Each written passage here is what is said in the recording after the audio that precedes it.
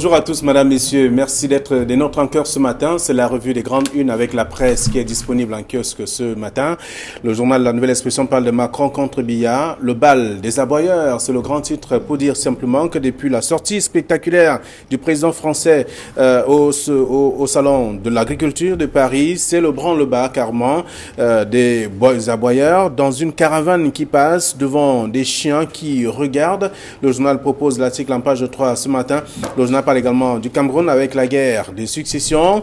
Euh, Kavaye Gedibril et Nyadji Fedi ont d'ailleurs une euh, santé de plus en plus fragile. Leur remplacement à la tête notamment des deux chambres du Parlement camerounais suscite bien sûr déjà des, euh, beaucoup de convoitises. C'est ce qu'on peut découvrir en page 4 du journal ce matin. Crise sociopolitique, le boycott du 8 mars lancé les mamans ont d'ailleurs lancé un vibrant euh, appel à la jante féminine euh, camerounaise. Il est demandé à chacune de ne point acheter le pain relatif. C'est en page 4 de la nouvelle expression. Et on parle également des droits, des droits de l'homme. Regard croisé sur l'état des lieux pendant que les Nations Unies mettent d'ailleurs un accent sur la participation des jeunes.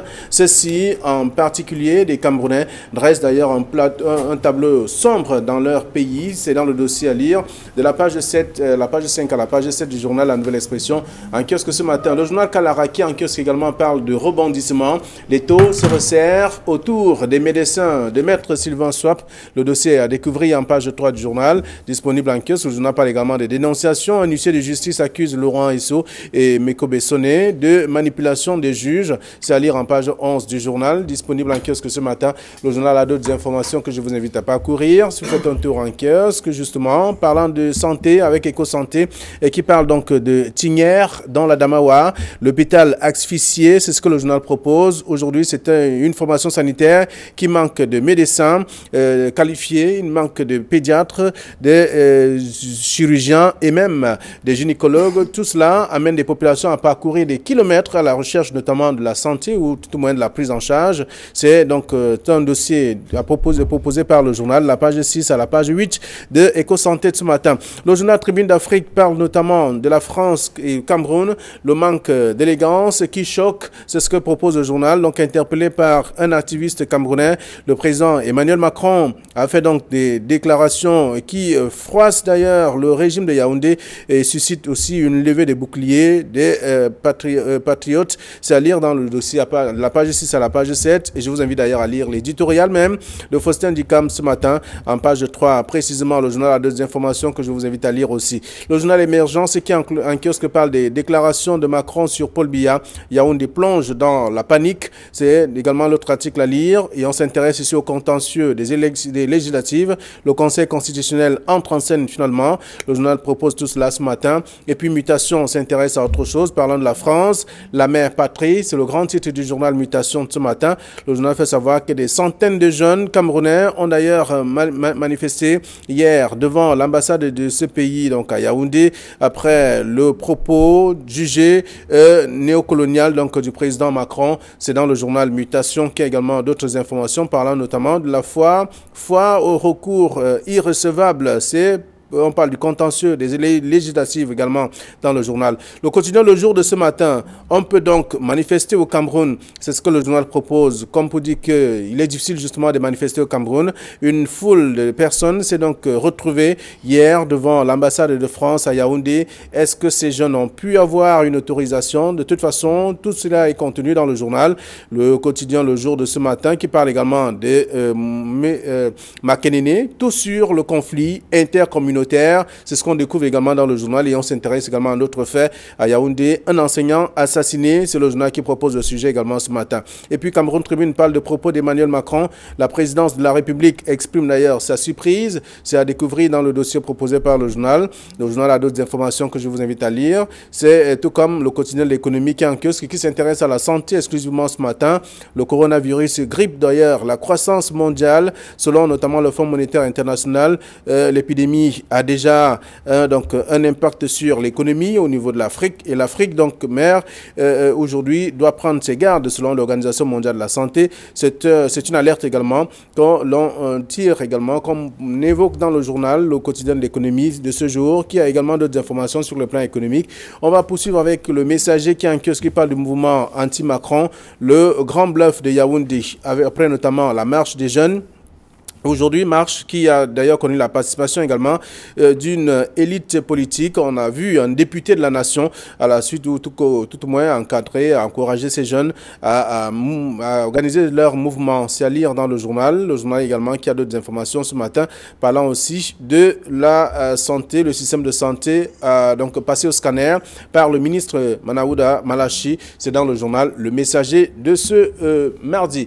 Voilà ce que la presse nous propose, celle que nous avons reçue à notre rédaction avec nos invités déjà sur ce plateau. Donald Briskamga, bonjour et bienvenue. Bonjour Flavien, bonjour à Camille, bonjour à nos téléspectateurs. Ravi de vous retrouver sur ce plateau. C'est un plaisir d'être là, de vous voir également. Euh, bonjour Camille Nelly. Flavien Valonong, bonjour. Bonjour Donald Briskamga, bon retour. Bonjour téléspectateurs d'Equinox Télévision. Très bien, alors nous faisons le tour de quelques sujets proposés par la presse. Alors, le, la nouvelle expression parle de Macron contre Biya, le bal des aboyeurs, c'est le titre proposé par le tabloïd. Et euh, on parle également de tout cela dans le journal. Il y a le Tribune d'Afrique qui parle de manque d'élégance qui choque, parlant de la France et le Cameroun. Ça, c'est euh, le Tribune d'Afrique également ce matin. Alors, le journal Émergence qui parle des déclarations de Macron sur Bia, Yaoundé plonge dans la panique. Autant de titres pour qualifier un peu ce qui s'est déroulé entre euh, le président Macron et l'activiste camerounais. Et même à la suite de tout ça, il y a eu des réactions aussi, notamment au Cameroun. Oui, euh, je m'intéresse d'abord au titre de la nouvelle expression, le bal des aboyeurs. Euh, la nouvelle expression interroge en page 3 notamment la pertinence de cette levée de bouclier au sein euh, des institutions au Cameroun après ces propos d'Emmanuel Macron samedi au salon de l'agriculture à Paris. Quelle est la pertinence de ces sorties qui tendent à diaboliser la France et son dirigeant. Euh, la pertinence de cette manifestation organisée par des jeunes euh, dans les rues de, Yaoundé, devant l'ambassade de France notamment à Yaoundé hier, est-ce que euh, ce sont des sorties et des publications qui peuvent permettre de répondre de façon efficace et d'imposer de, le respect qu'un État doit vis-à-vis d'un autre État?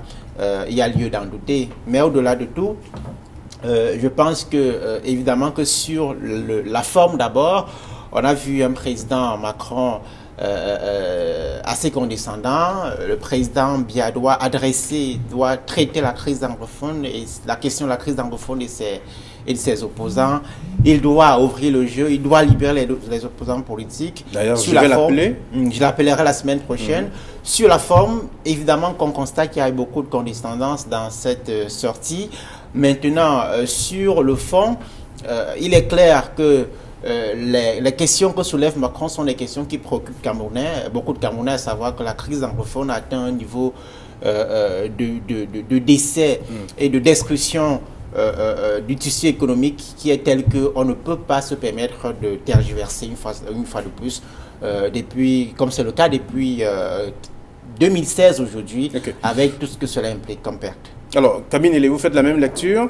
Euh, d'abord, d'ici de la nouvelle expression, le bal des aboyeurs, et également d'autres tabloïds qui sont revenus sur la marche de ces jeunes qui ont assailli euh, euh, la façade avant de l'ambassade de, France au Cameroun. La lecture de Donald Brisset est paradoxale. Il reconnaît que Emmanuel Macron était condescendant, qu'il a dit des choses qui ne sont pas bien, euh, qu'il euh, il a dit des choses en public qu'il n'aurait pas forcément dû dire. Et de l'autre côté, il estime qu'un journal, tout simplement parce qu'il euh, est pris dans sa logique éditoriale, peut qualifier d'aboyeur des Camerounais qui décident de s'indigner dans la rue, qui ont le droit de s'indigner, qui ne peuvent pas tous accepter qu'un président de la République euh, parle d'une autre avec une d'un autre président avec une telle impudence, parce que s'il s'agit d'impudence, ce sont des propos euh, désobligeants et euh, réellement impudents. L'action de M. Macron est inacceptable. Elle est euh, vraiment, elle poignarde toutes les convenances diplomatiques et même de, civilité.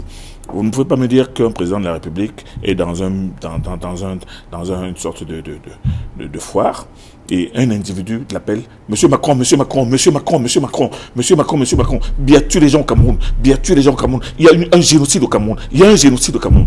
Et Macron se dirige vers lui comme si c'était le centre de la Terre.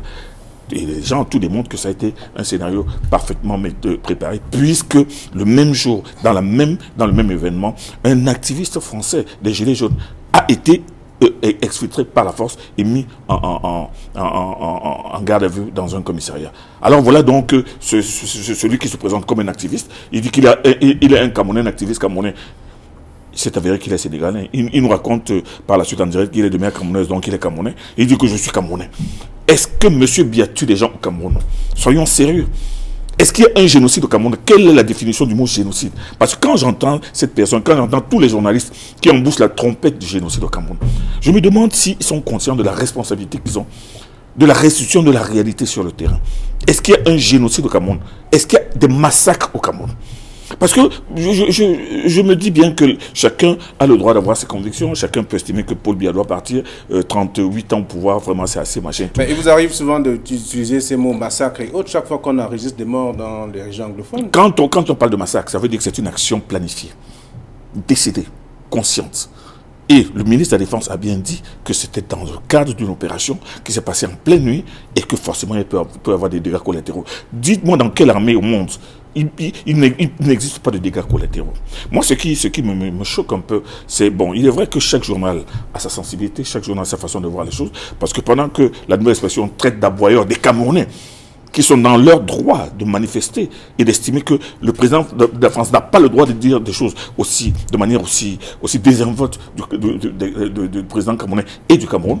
Il y en a d'autres qui estiment que le, le, la, la de c'était le bal d'air euh, non, pas le bal, le messager a titré. Euh, le messager parle par exemple de. Euh, je vous propose le titre dans le grand bluff. Le grand bluff. Il, estime que c'est un bluff.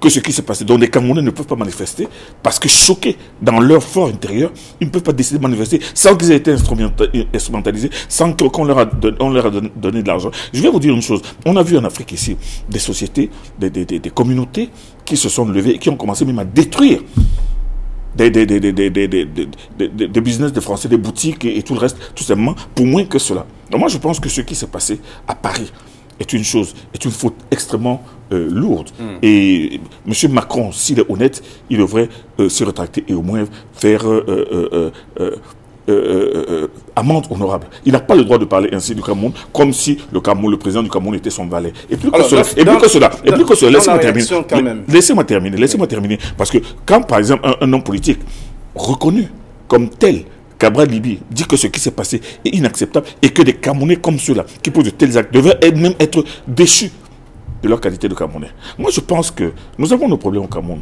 Mais essayez de, voir un Français qui vient ici parler à Paul pour dire que voici comment ça se passe en France. Ce qui se passe, ce qui s'est passé là, est quelque chose d'inadmissible et d'inacceptable. Inadmissible et inacceptable. Et puis ce monsieur qui se présente comme inadmissible, on ne sait même, comme, comme un, activiste, on ne sait même pas s'il est, est en règle. Il est poursuivi par la justice euh, euh, euh, camerounaise par, l'ambassade de France pour les cas des ambassades de, Paris. Et il s'identifie, il, il, se présente comme un activiste. Un activiste, c'est quoi un activiste?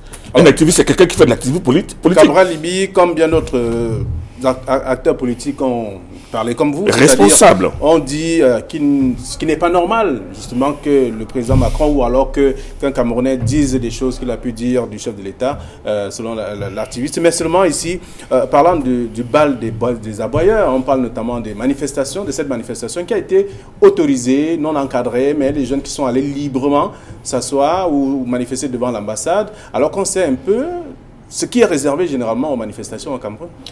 C'est cette politique du deux poids deux mesures qui inquiète et qui confirme ce que bon nombre d'observateurs de la scène politique au Cameroun disent depuis, à savoir que euh, euh, l'administration n'est pas neutre comme elle est censée l'être, à savoir que les opposants ne peuvent pas librement manifester mm. parce qu'ils seront systématiquement tapés dessus.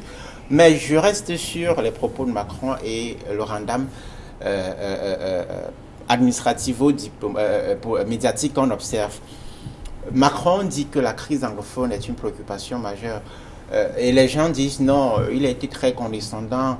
Euh, la question, justement, nous aimerons vivre dans un pays où le chef de l'État est respecté, dans un pays qui est dirigé par quelqu'un qui, a de la poigne et qui est respecté par, les, par ses homologues. Mais sauf que dans notre cas, il faut savoir que le, respect se mérite, que la considération se mérite également. Camille sait très bien qu'au lendemain du dialogue national auquel notre chef de l'État n'a pas pris part, il a bien trouvé, euh, il s'est bien euh, euh, permis d'aller rendre compte, a-t-il dit, au chef de l'État français, moins de deux semaines après la, clôture de ses travaux. Camille sait très bien pour avoir vécu les années 90, qu'au début des années 90, le chef de l'État Cameroun au perron de l'Élysée avait indiqué qu'il était le meilleur élève de, de, de, Mitterrand. Alors, lorsqu'on rappelle ces faits-là, c'est pour indiquer que euh, notre chef de l'État a choisi, euh, je ne sais pas si de façon délibérée en tout cas, il a choisi de se placer dans une posture d'infériorité. Il s'est choisi, il a choisi lui-même de se placer dans une posture d'élève vis-à-vis de la France et ce n'est pas surprenant qu'il soit traité comme, comme tel. Euh, on a beau s'indigner, mais il ne faut pas être plus royaliste que le roi. Nous savons aujourd'hui une crise qui atteint des proportions inquiétantes et qui interpelle au-delà de la conscience nationale, la conscience internationale. Et rappelons sur la France que c'est la France. La France aujourd'hui sur la scène internationale est l'un, sinon le dernier parapluie diplomatique du Cameroun en termes de protection, en termes de couverture. Chaque fois que les, acteurs de la scène internationale, scène internationale comme les États-Unis, l'ONU, ont voulu lever le, temps, lever le temps sur la crise anglophone, sur son bilan et la catastrophe qu'elle entraîne, eh bien la France a dit laissez-moi, je gère l'affaire. Vous n'avez qu'à reparcourir le communiqué de la France sur la crise anglophone pour vous rendre compte que le temps est assez timoré, le temps est assez très prudent, même lorsque la, crise atteint des proportions euh, euh, euh, très graves. Alors aujourd'hui, on voit bien qu'un nouveau cap est franchi dans la crise anglophone et la France elle-même qui demande des concessions à Yaoundé et ne l'obtient pas depuis un bon nombre d'années, a été obligé de cracher dans la soupe. Voilà. Et le, le journal euh, Cameroun Tribune dit hier ce matin, la présidence de la République exprime sa surprise face à la sortie du président Macron. Il était tout à fait indiqué que le, la présidence de la République dise quelque chose. Elle ne faut pas rester muette ni à faune. Parce que, Macron a dit qu'il n'est pas avéré. Macron dit que quand l'activiste lui dit qu'il euh, euh, y a génocide au Cameroun, M. Macron dit je sais. Il sait qu'il y a génocide au Cameroun. Quand tu dis Monsieur tue des gens au Cameroun, il y a déjà 200 000 morts. Monsieur Macron dit je sais. Il sait que Monsieur Bia tue des gens au Cameroun. Attendez, ne nous, prenez pas de, ne nous faites pas prendre des vessies pour des lanternes. Ce que je suis en train de vouloir dire, c'est qu'il ne faut pas que les gens soient crétinisés par une rhétorique qui tend à démontrer que Bia est un petit président, Bia est sous la botte de la France, Bia est protégé par la France. J'ai entendu un journaliste, hier ou avant-hier, dire que, oh, ben, vous savez, euh, euh, l'Union européenne veut prendre des mesures contre le Cameroun depuis très longtemps, les États-Unis veulent prendre des, des, mesures euh, contre le Cameroun, l'ONU veut prendre des décisions contre le Cameroun, mais c'est la France qui protège le Cameroun. Attendez, protéger le Cameroun comment? Et, vous m'amusez quand on dit que l'ONU va sévir contre le Cameroun. L'opinion, la communauté internationale. Où est-ce que quand dans quel pays d'Afrique avez-vous vu la communauté internationale venir intervenir dans un pays et ramener la paix?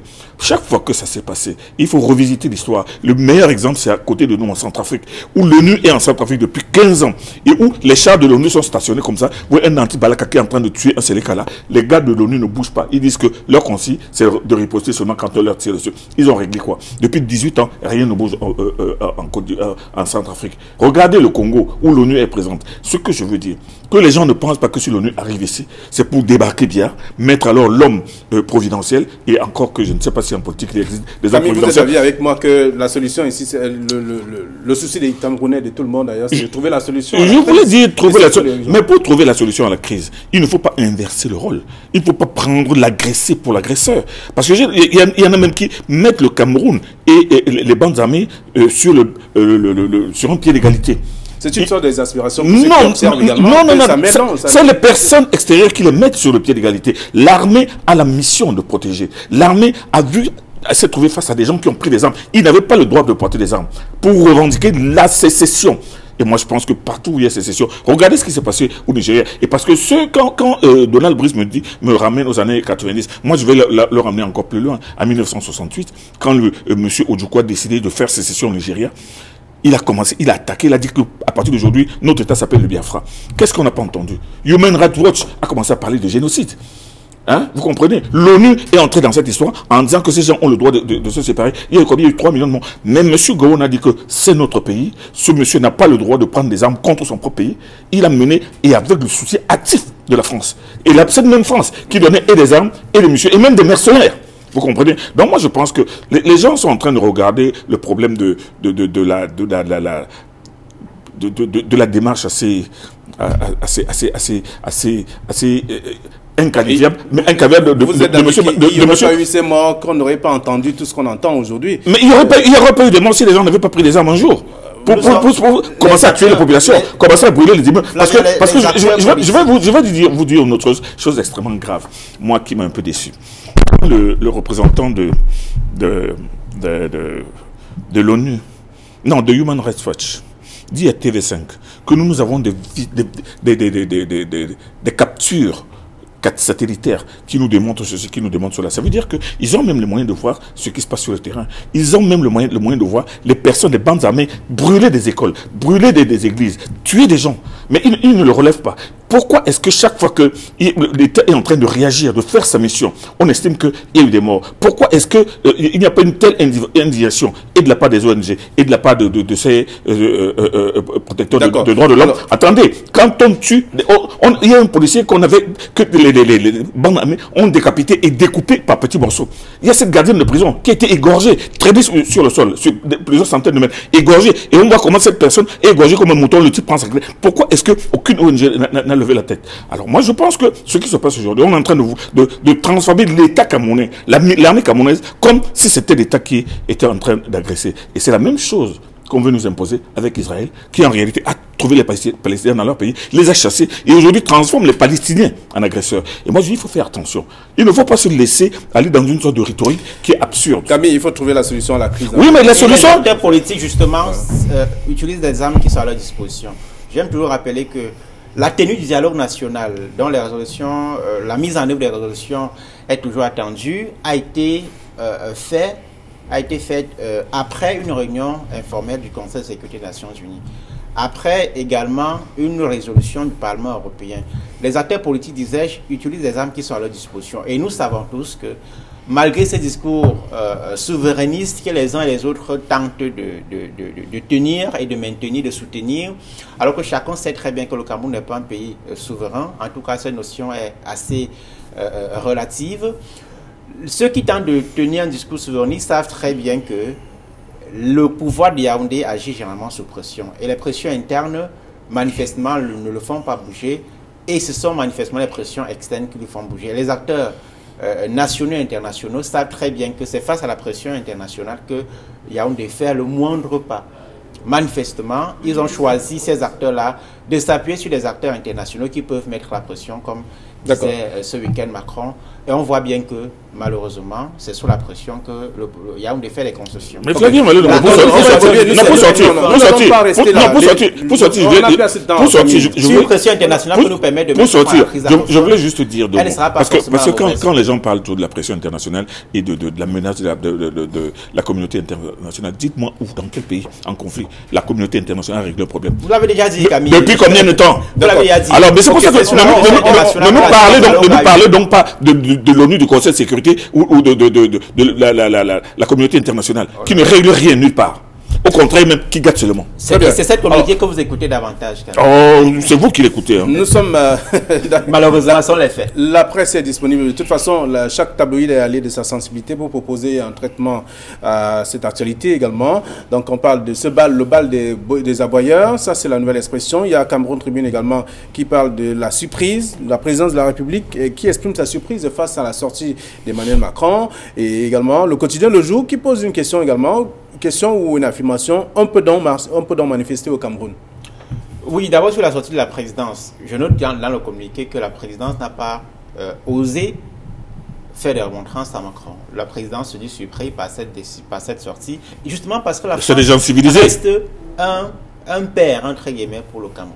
Et le Cameroun a choisi, avec ses dirigeants, de se placer dans une position d'élève, d'esclave et de maître. Ça, ce sont les faits. Par les attitudes, par les actions, par euh, euh, les, les, arts qui Esclaves, sont... les maîtres, c'est pas exagéré? Non, malheureusement. même si le Est-ce qu'au que... 21e siècle, un chef d'État qui se dit, dans un pays qui se dit souverain, peut dire, je suis allé rendre compte à celui qu'on appelle un jeune, un jeune qui est à l'Élysée. Évidemment que ça, c'est se placer dans une posture d'infériorité qui, à l'avenir, va forcément être préjudiciable à, à la respectabilité du pays et à la respectabilité des dirigeants qui incarnent ce pays. Ça, c'est une posture, évidemment, euh, euh, qui ne peut pas être de nature à faire en sorte que sur la scène internationale, nous soyons un pays respecté. C'est ce que nous disons.